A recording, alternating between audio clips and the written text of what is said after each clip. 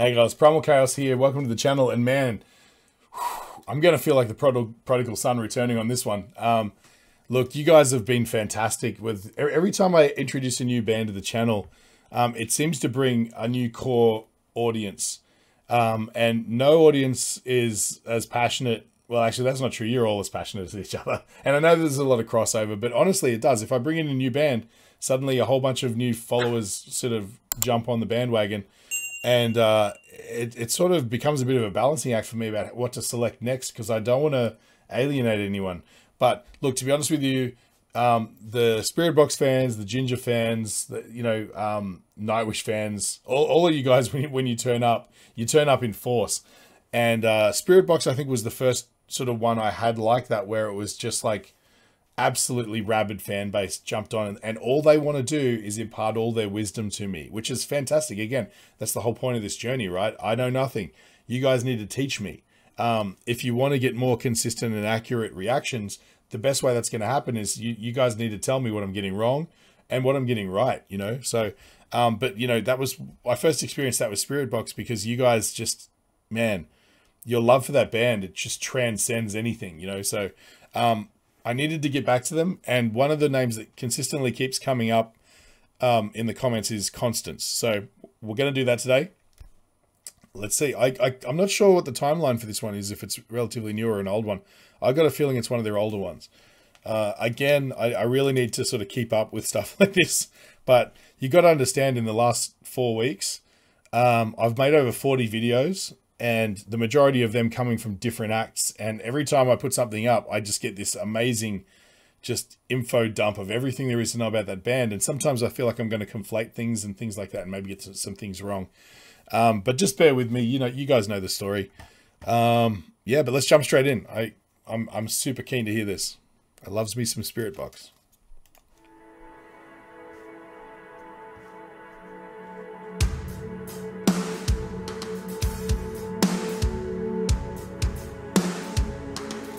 Courtney always presents so unusual for this genre. Um, and I, I'm, I'm totally about that. Just be yourself, man.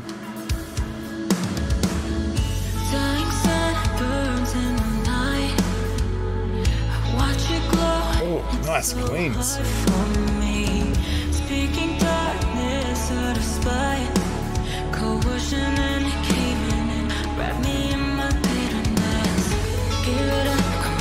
Come on. Just enough to escape it.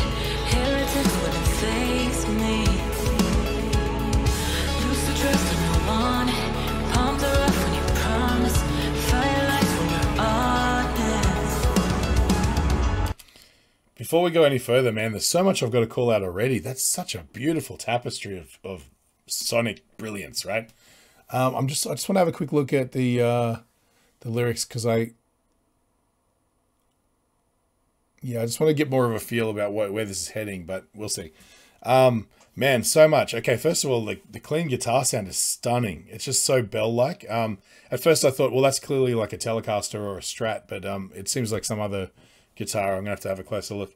Um, same idea, single, single coil sound, but where the mastery comes in is is the production, like the mixing and stuff like that. The reverbs are so lush. Um, the reverb and Courtney's voice, if you listen, I'll go back and you can listen to it it's just sitting in this beautiful bed of just um just uh you know it's like a fluffy cloud of reverb just bouncing around in the, in the soundscape. Uh wow. Hang on let me go back because uh, and rhythmically it's nice too. He's playing that sort of scale pattern kind of riff thing.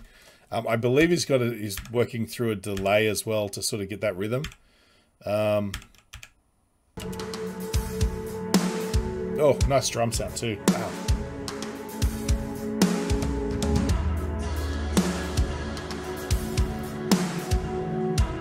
can't read the name.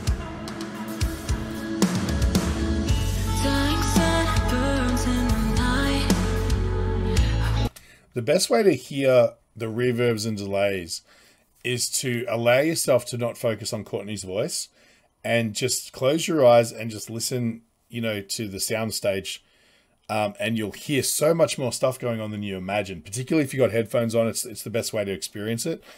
Um, but you'll hear her sing, and when she finishes a line, you'll just hear this wash come over, and then a few sec, a few fractions of a second later, you'll hear, you know, her echo coming in, and maybe even ping ponging and stuff like that. But just listen. This is a perfect example.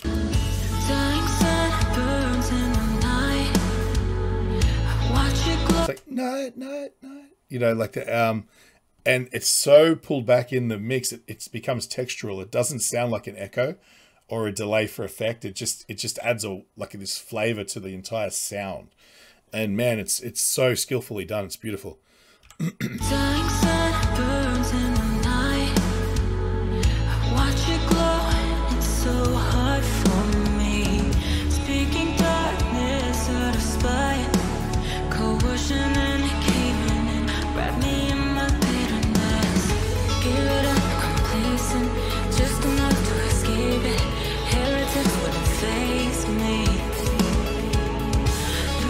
is another great example of using a delay to create a rhythmic tapestry. So uh, watch his fingers and he's playing the notes like whatever it is. Um, but because he's got a slapback echo on it in time with the with the with the beat, um, and like a I guess like an eighth note or something like that, you get like this um, kind of feel to that rhythm, you know. So it's it's very much similar to how the Edge plays from U2. Um, and I mean, plenty of other people too, but here's the standout one that everyone calls out for using too many effects. but um, yeah, that's just a beautiful example of using brilliant production to embellish an already great sound.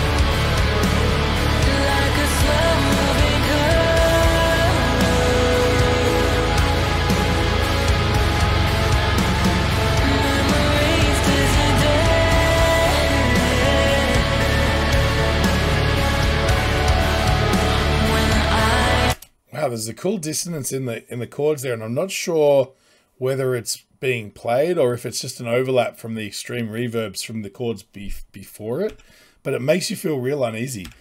Hang on one second. When that wall of sound hits, it's like the second chord in the progression.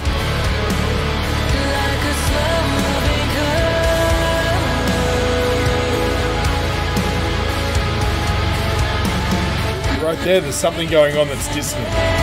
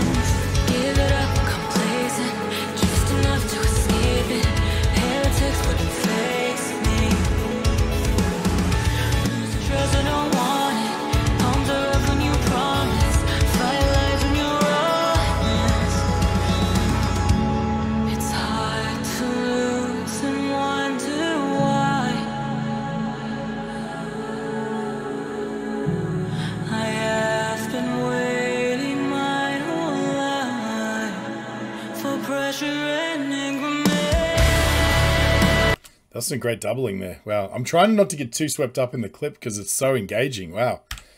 Um, but just, yeah, there's some really nice... I'm not sure if that's synthetically doubled or if it's um, her low voice or maybe his low voice underneath, but really nice. Oh yeah, and can we get back to, I'll jump back to here, but there was a tonal change.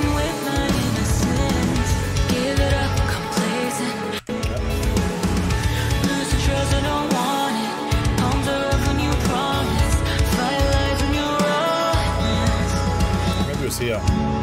It's hard to lose and wonder why. Hmm. I have Very cool backings. waited my whole life for pressure and. That's really nice.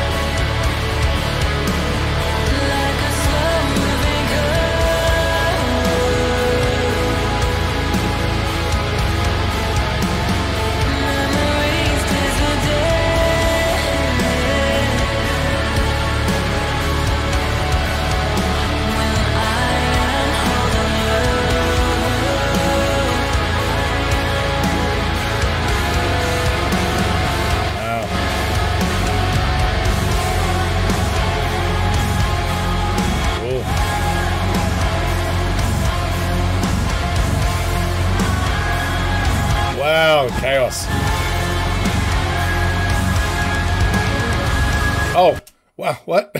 I thought I was seeing things. Hang on. That's really clever.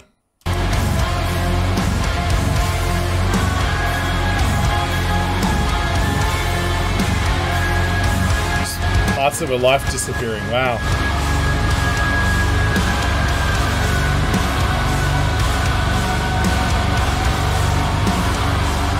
Man, that's dark sounding, isn't it? Wow.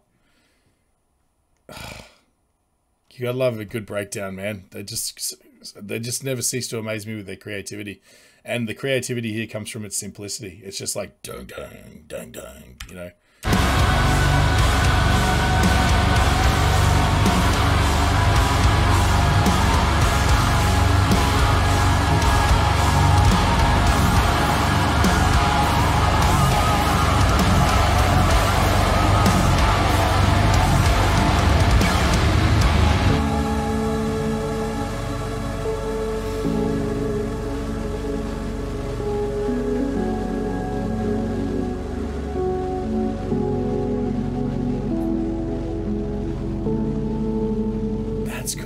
Listen to that. That synth just just granularly just descends into just noise. That's really beautifully chosen. Just listen to the synth. See how it starts to break up into static?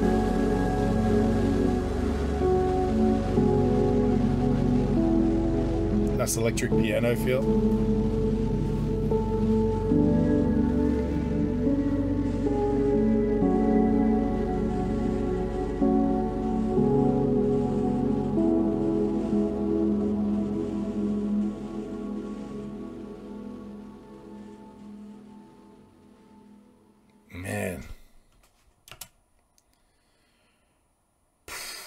What an intense ride. Wow. Okay. Uh, we'll be right back.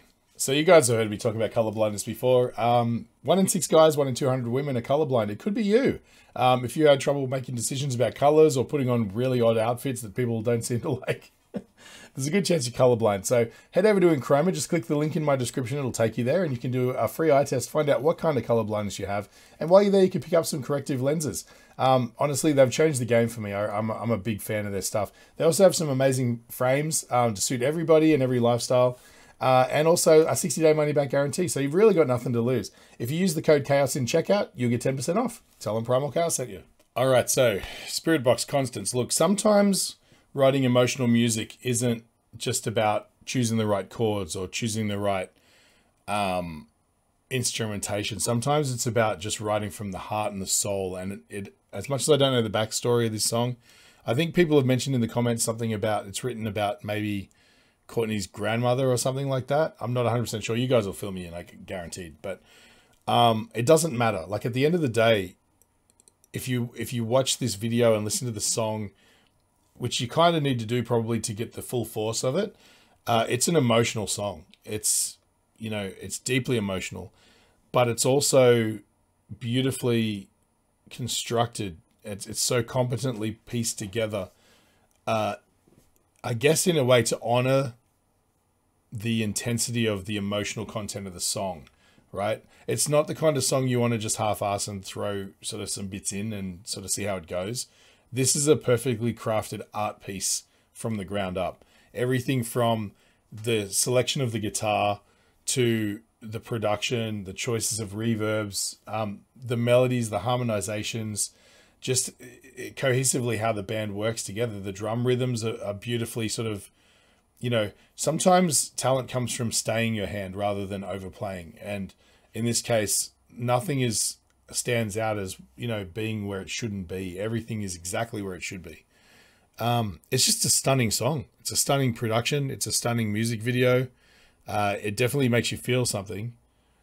Um, it almost feels like, it almost feels like a short film with an amazing soundtrack. You know, and that's I don't know. I wonder if I would have had that same feeling if I'd have just listened to the song first. But either way, it definitely has a flavor to it that that seems like a movie soundtrack.